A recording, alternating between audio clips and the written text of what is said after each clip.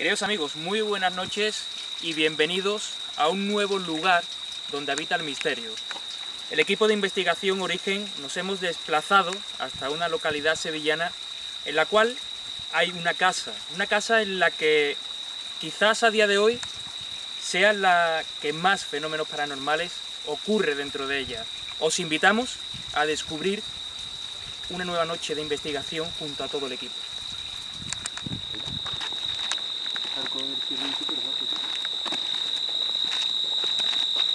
Van escuchando ruidos por rato ahí. Ahí está la noche de golpe.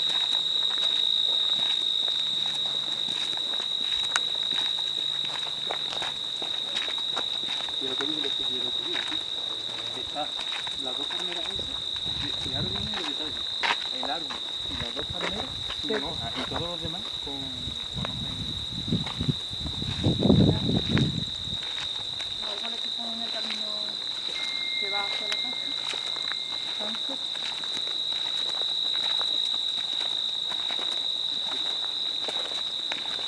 Hay muchos sitios donde dicen también que pasa. Quizás muchos de vosotros conozcáis la historia de la Casa de la Loca o habéis por lo menos escuchado hablar de esta historia. Pero lo que muchos no saben es otro tipo de vivencias que ha tenido lugar eh, en este camino. Concha, buenas noches. hola, buenas noches. En el camino de la Riguela, como se le conoce popularmente. Y decimos esto porque hay muchas más historias escondidas detrás de esa eh, leyenda, entre comillas, que se cuenta de este lugar. Exactamente. En los años que llevamos aquí investigando, eh, vamos descubriendo poco a poco más misterios mm, y, y más historia de, de la casa y de sus alrededores. Historias de la época de la guerra, eh, fusilados, personas que murieron aquí eh, en todo este camino y que sin duda alguna es posible que esta noche podamos encontrarnos, quién sabe, Concha, con alguna entidad que pueda estar vagando por este Claro, camino. porque tras varias investigaciones estamos eh, conectando con la casa, de manera que se están empezando a manifestar estas energías, eh, que son muchas, no son la- las dos que siempre se ha hablado en la, en la historia. Y vamos a, a ver qué es lo que sacamos hoy. Hay que recalcar, y esto es muy importante, recalcar, eh, que la historia de este lugar no tiene nada que ver con la leyenda que se cuenta. Eh, la historia habla de una persona con un pequeño que, la cual el padre, Concha, le habilita este lugar para que creciera feliz, puesto que los médicos y los especialistas que la estaban viendo le recomendaron ir hacia el psiquiátrico de Miraflores, que era en Sevilla Claro, el único lugar donde podía estar ella bien cuidada, ¿no? Le diagnostican esquizofrenia con, a la edad de 15 años. Y el padre pues se niega rotundamente a, meterla en, a encerrarla en el manicomio. Y decide construir aquí, en esta finca que es de su madre, la, la casa para, para la hija. Eh, la hija aquí vive desde esa edad hasta los 85 años que fallece en el año 1991. Es aquí cuando comienzan a suceder esos fenómenos extraños que los vecinos del pueblo de Palomares del Río decían ver a través de las ventanas de esta, de esta casa. Una figura vestida, eh, una anciana, una figura de una anciana vestida de blanco, blanco. que aseguraban veían en el interior de la casa. Hasta ahí queda la historia real.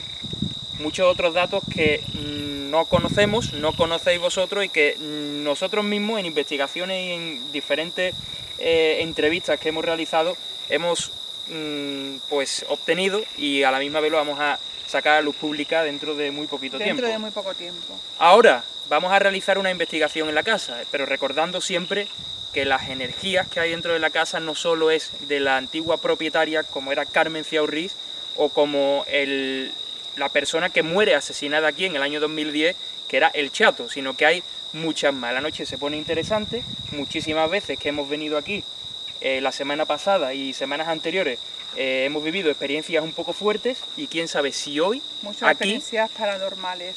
en el camino... se da el caso, perdona Jesús, Sí. que el día 26 se cumple seis años de la muerte de, de- de asesinato del chato.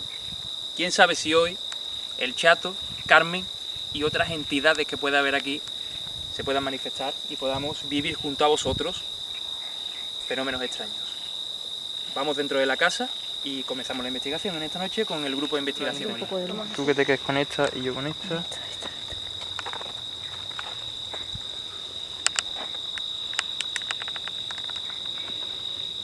No, eso como siempre, un, un- unos pasos muy simpáticos, muy intencionados, llaman la atención, ¿sabes, Jesús?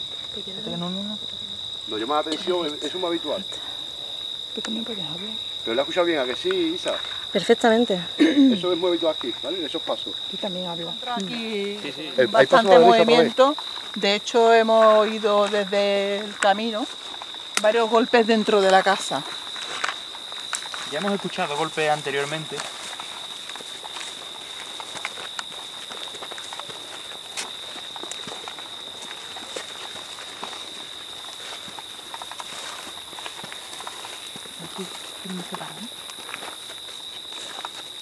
Esto.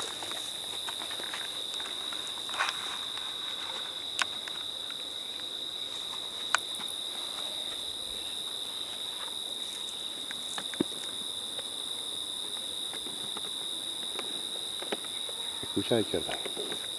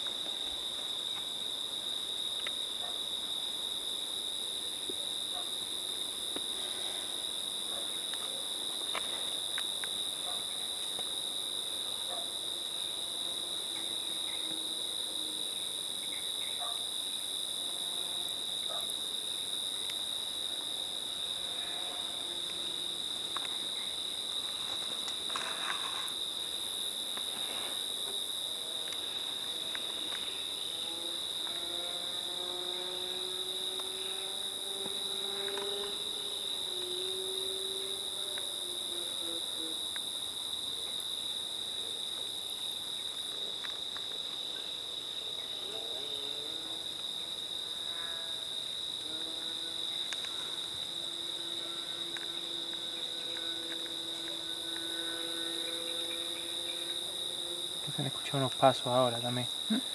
Aquí en este lado, Yo le oí también. a mi derecha. Y ahora ahí, a la izquierda.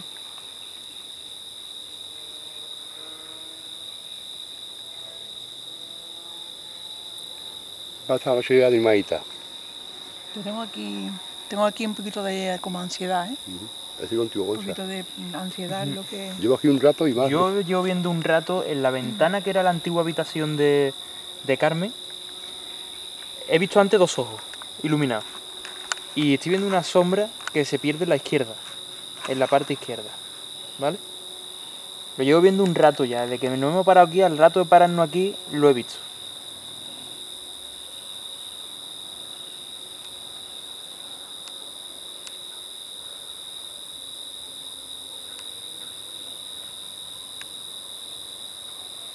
Estoy sintiendo mucha ansiedad, eso. Mm, Yo también, yo Pero mucha, mucha ansiedad, Concha. Hoy sí estoy conectando, hoy sí conectando, estoy conectando bien con el sitio. ¿Sabes? Que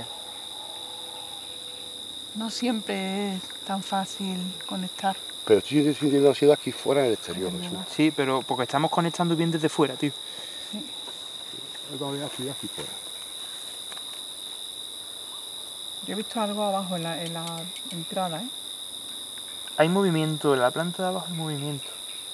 Al fondo a la izquierda he visto una figura oscura, ¿eh? Abajo, en el centro. La entrada del centro. ¿Vamos para adentro? Yo me, me quedé aquí un poquito más. Sí. Sí. Yo estoy Sigo Es más, conectado. es más, yo apagaría un poquito las luces porque a mí me gustaría escuchar un poquito más esta parte de aquí Sigo fuera. viendo, sigo viendo. Yo he conectado con esta parte de aquí bien ya. La tengo.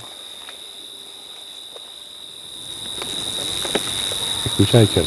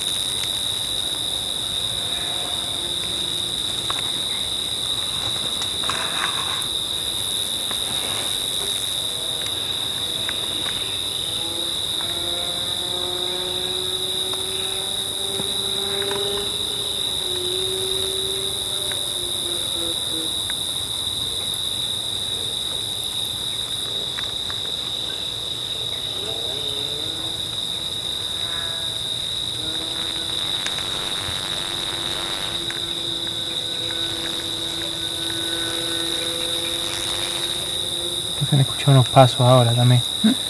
Aquí en este lado. Yo le doy tanto. A mi derecha. Y ahora aquí, a la izquierda.